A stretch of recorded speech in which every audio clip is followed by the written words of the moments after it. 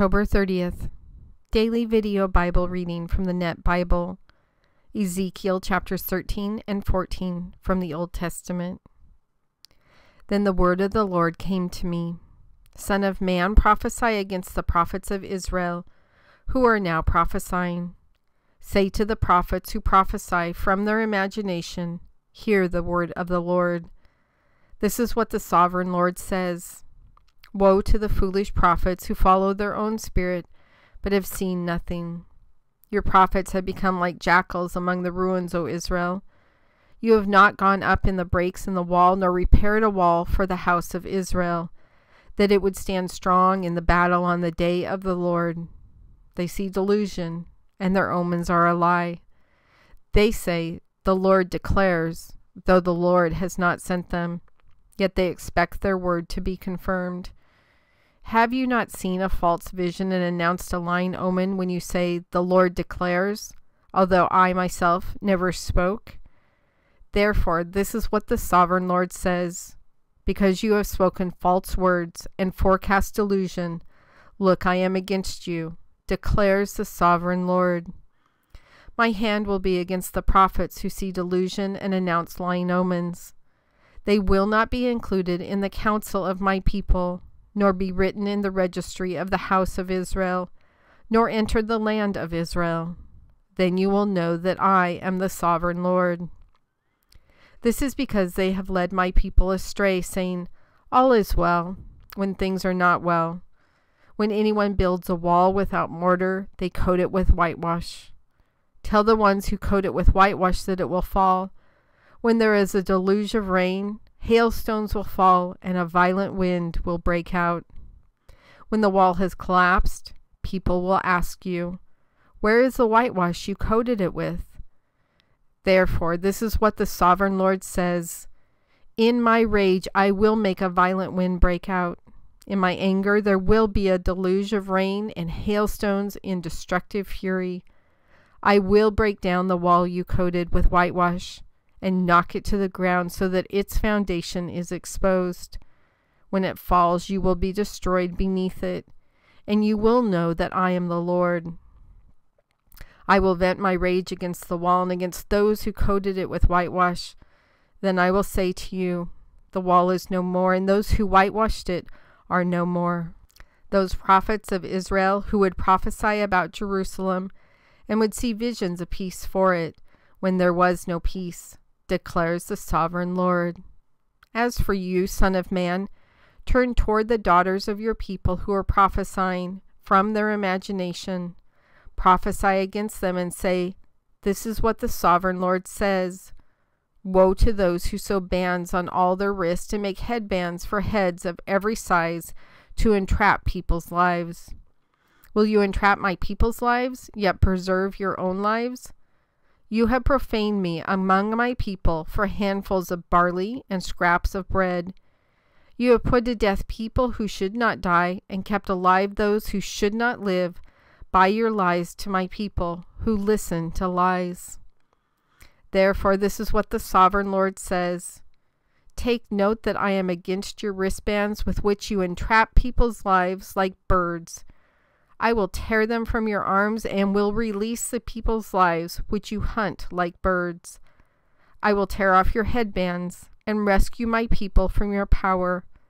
They will no longer be prey in your hands. Then you will know that I am the Lord. This is because you have disheartened the righteous person with lies, although I have not grieved him, and because you have encouraged the wicked person not to turn from his evil conduct and preserve his life. Therefore, you will no longer see false visions and practice divination. I will rescue my people from your power, and you will know that I am the Lord. Then some men from Israel's elders came to me and sat down in front of me. The word of the Lord came to me Son of man, these men have erected their idols in their hearts and placed the obstacle leading to their iniquity right before their faces. Should I really allow them to seek me? Therefore, speak to them and say to them, This is what the sovereign Lord says. When anyone from the house of Israel erects his idols in his heart, and sets the obstacle leading to his iniquity before his face, and then consults a prophet, I, the Lord, am determined to answer him personally according to the enormity of his idolatry. I will do this in order to capture the hearts of the house of Israel, who have alienated themselves from me on account of all their idols. Therefore, say to the house of Israel, This is what the sovereign Lord says Return. Turn from your idols and turn your faces away from your abominations. For when anyone from the house of Israel, or the foreigner who lives in Israel, separates himself from me and erects his idols in his heart, and sets the obstacles leading to his iniquity before his face, and then consults a prophet to seek something from me, I, the Lord, am determined to answer him personally. I will set my face against that person and will make him an object lesson and a byword, and will cut him off from among my people. Then you will know that I am the Lord. As for the prophet, if he is made a fool by being deceived into speaking a prophetic word, I, the Lord, have made a fool of that prophet and I will stretch out my hand against him and destroy him from among my people Israel. They will bear their punishment. The punishment of the one who sought an oracle will be the same as the punishment of the prophet who gave it, so that the house of Israel will no longer go astray from me, nor continue to defile themselves by all their sins. They will be my people, and I will be their God, declares the sovereign Lord the word of the Lord came to me Son of man, suppose a country sins against me by being unfaithful, and I stretch out my hand against it, cut off its bread supply, cause a famine to come on it, and kill both people and animals. Even if these three men, Noah, Daniel, and Job, were in it, they would save only their own lives by their righteousness, declares the sovereign Lord. Suppose I were to send wild animals through the land and kill its children, leaving it desolate without travelers due to the wild animals. Even if these three men were in it, as surely as I live, declares the sovereign Lord, they could not save their own sons or daughters. They would save only their own lives, and the land would become desolate. Or suppose I were to bring a sword against that land and say, let a sword pass through the land, and I were to kill both people and animals, even if these three men were in it. As surely as I live, declares the sovereign Lord, they could not save their own sons or daughters. They would save only their own lives. Or suppose I were to send a plague into that land and pour out my rage on it with bloodshed, killing both people and animals. Even if Noah, Daniel, and Job were in it, as surely as I live, declares the sovereign Lord, they could not save their own son or daughter. They would save only their own lives by their righteousness. For this is what the sovereign Lord says How much worse will it be when I send my four terrible judgments sword, famine, wild animals, and plague to Jerusalem to kill both people and animals? Yet some survivors will be left in it, sons and daughters who will be brought out. They will come out to you, and when you see their behavior and their deeds, you will be consoled about the catastrophe I have brought on Jerusalem, for everything I brought on it. They will console you when you see their behavior and their deeds, because you will know that it was not without reason that I have done everything which I have done in it, declares the sovereign Lord.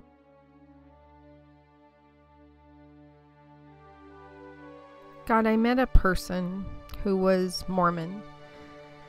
And upon talking to them about their religion, which as a, a child in junior high and high school, I studied Mormonism endlessly, not to become one, but because I happen to live in Utah and was trying to figure out what was going on.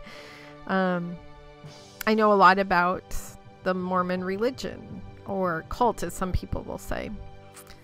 Uh, and so, in talking to them about what they believed, they seemed to be a little bit vague about it.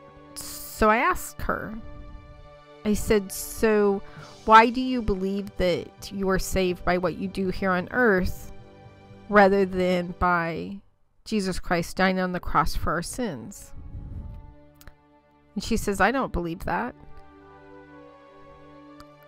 Okay. I said, What about uh, the fact that um, God, Jesus, and the Holy Spirit aren't the Trinity? They're not three in one, that you guys believe they're all three separate, in that, that Jesus was a human human, not the Son of, of God. And she says, I don't believe that. Okay. What what about when you die and if you're a man in the Mormon religion, a good standing Mormon male, that you get your own planet and you get to eternally populate that planet? She says, I certainly don't believe in that. So here's a person that has been a Mormon for, gosh, over 10 years at that point, who didn't know what her church that she followed supposedly was teaching her. Now, I don't, I honestly don't know because I don't know her well enough. I don't know if, if it was her fault for not seeking the information and figuring out what it was that she was following. Um, or if it was the church's information. But if you are a Mormon, the basic belief systems are all those things that I kind of covered. Same thing if you're going to be in a Catholic church, there's certain things they believe. Lutherans, um, Protestants, and it depends, sadly, on which type of church you go to. There's a couple different versions of Lutheran churches, a couple different versions of Protestant churches. In fact, the Protestant churches falling apart right now because they're arguing within themselves about creating another division of Protestant churches for people who believe something else. So, all these churches, including the church I go to, which is non denominational, um, all believe a little bit different things. Some of them believe a little bit different things Christian wise.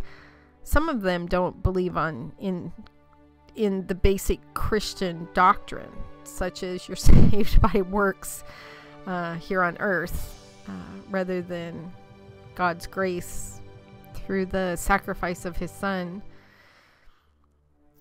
So Ezekiel is is having this conversation with you about this and you're telling him, "Look, the people who are saying these things are in trouble." But I'm also being really clear that you don't get off just because you're following them and you didn't know. You can't use that excuse.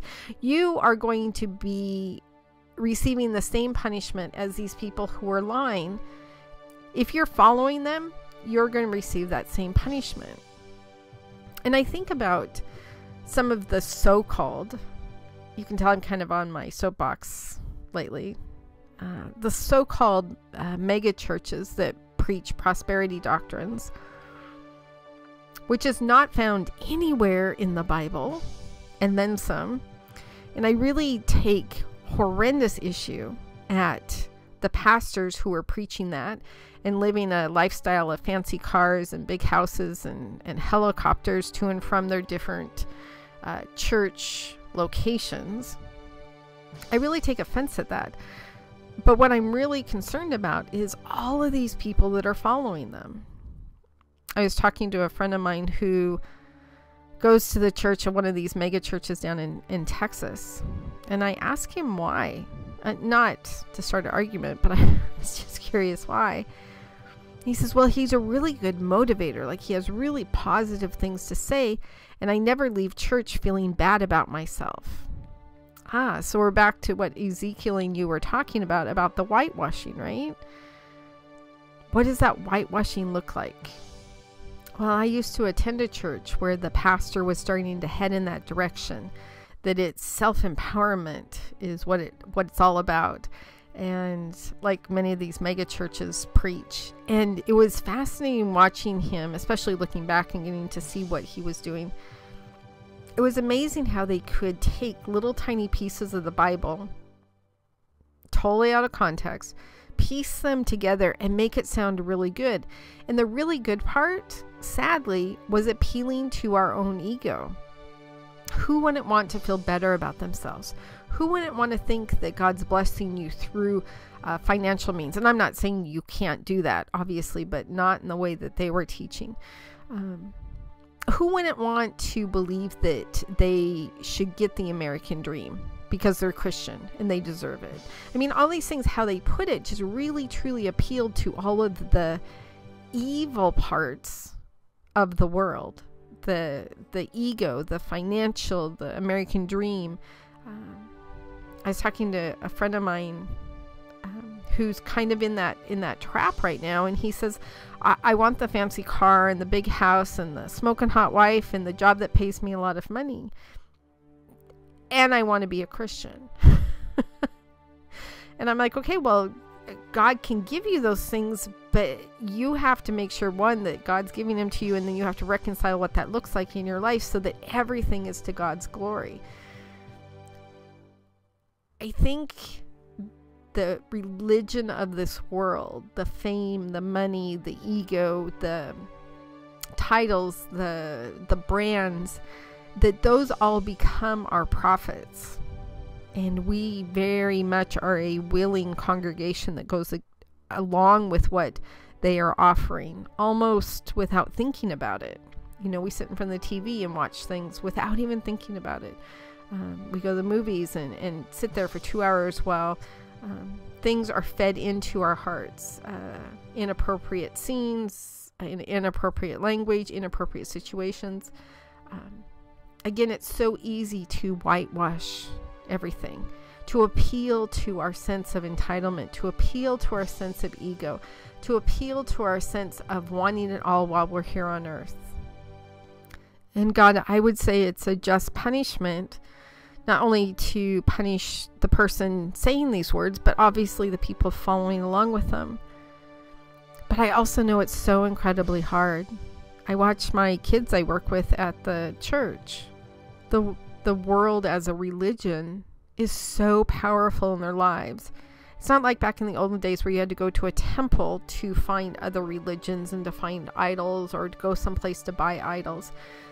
And it's not even just that the whole culture has become a group of idols. I would say, you know, watching people's lives nowadays, that it's not even whitewashed, it's completely saturated in every single thing that comes in in contact with us in, in books, in TVs and movies um, newspapers, internet, conversations we have with people at work, uh, billboards driving to and from work, what's on the radio station. It's just the saturation is all over. Um, what people wear, what people don't wear, what they drive, uh, the titles that they announce to each other when you say, What do you do for a living? Oh, well, I'm CEO of such and such. it's not even whitewashed anymore, God. It's just pure saturation. So, God, I just, first and foremost, I want to thank you for the church I go to. Um, I have I have a couple pastors there that are just such amazing men of God. They lead by example. They preach from the Bible instead of from themselves. It's not about them. It's truly about your word. Uh, they're incredibly passionate about your word and making sure people understand the truth uh, therein. They as- associate, and our church associates with other people who have that same goal in mind. And to me, it's just this amazing place where I get to learn about you. I get to worship you. I get to be with other people who, who are headed down that same path. In that same sense, God, I just pray for everyone who doesn't have a church like that. That one, that they would find a church like that but two, in the meantime, for them not to follow some pastor just because it sounds really good and makes them feel really good every Sunday when they show up at church. Have them be intentional about their relationship with you, God. Have them be very clear about every single aspect of it. God, I I hurt so much watching these thousands upon tens of thousands of people in these mega churches following someone who isn't speaking your word, who isn't speaking the truth, who is talking about a worldly religion and it's clothed very thinly in tiny little Bible verses handpicked from from the from your word. God, I just ask that the truth just come into their hearts and into their minds. And you strengthen them to leave those churches and find biblically based churches that pursue you, that pursue your will, that pursue what you expect us to do here on this planet. not just people show up on on Sunday and have surface relationships with you, but passionate people who are in radically changed relationships with you with amazing new hearts that you strengthen and guide and protect and discipline and show grace and mercy to. God, I know that those relationships are messy, but there's nothing more that I want in this world than to follow you and to be surrounded by people who can teach me the truth of what your word says. God, continue to protect and guide those people who speak truth into my life and into the lives of many people around the world. In your son's name I pray. Amen.